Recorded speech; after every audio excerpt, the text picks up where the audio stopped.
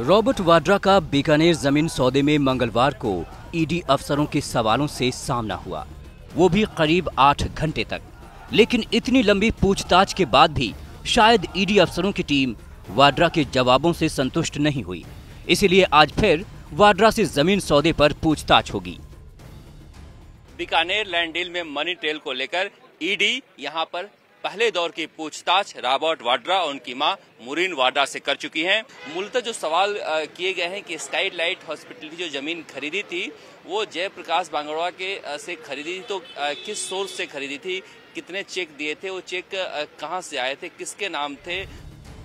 वाड्रा के वकील सुमन ज्योति खेतान ने मीडिया से बातचीत में कहा कि ईडी के आरोपों में कोई दम नहीं है। उनके क्लाइंट को जानबूझकर परेशान किया जा रहा है। करीब आठ या नौ घंटा उनका इंटरोगेशन चला।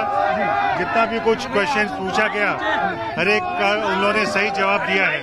सर कितने प्रश्न थे जो पूछे गए क्वेश्चंस का नंबर आप नहीं बता सकते अभी इन्वेस्टिगेशन ऑन है।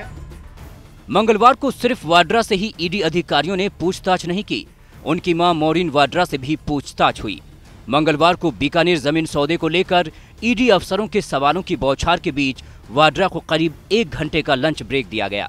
ईडी के अधिकारी कभी सीधे तरीके से तो कभी घुमाकर वाड्रा से सवाल करते रहे।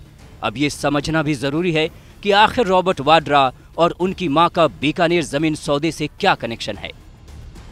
रॉबर्ट वाड्रा और उनकी माँ Maureen Vadra Skylight Hospitality private limited company के डायरेक्टर थे। कंपनी पर बीकानेर ज़मीन सौदे में शामिल होने का आरोप है। कंपनी ने बहत्तर लाख रुपए में उनहत्तर दशमलव पाँच पाँच हेक्टेयर ज़मीन खरीदी और इसे एलिगेनी फिनलीज प्राइवेट लिमिटेड को पाँच करोड़ पंद्रह लाख में बेच दिया। जिस Skylight Hospitality private limited company पर बीकानेर ज़मीन सौदे में हेरफेर का आरोप है, उसकी डायरेक्टर मोरिन वाड्रा भी थी, जो रॉबर्ट वाड्रा की माँ हैं। इसीलिए मोरिन वाड्रा से भी ईडी की टीम पूछताछ कर रही है। सूत्रों की माने तो मौरिन ने बताया कि उन्हें स्काईलाइट हॉस्पिटैलिटी नाम की कंपनी के कामकाज की कोई जानकारी नहीं थी। साथ ही बीकानेर ज़मीन सौदे के बारे में भी उन्हें कुछ भी मालूम नहीं था। करीब डेढ़ घंटे की पूछताछ के बाद उन्हें जाने दिया गया। अपनी माँ से पूछताछ को लेकर रॉबर्ट भावुक हुए और फेसबुक पोस्ट में लिखा, एक वरिष्ठ नागरिक को उत्पीड़ित करने के इस प्रतिशोधी सरकार के ओछे कदम को समझ नहीं पा रहा हूँ। आज फिर जयपुर में वाड्रा का सामना ईडी अफसरों के तीखे सवालों से होगा।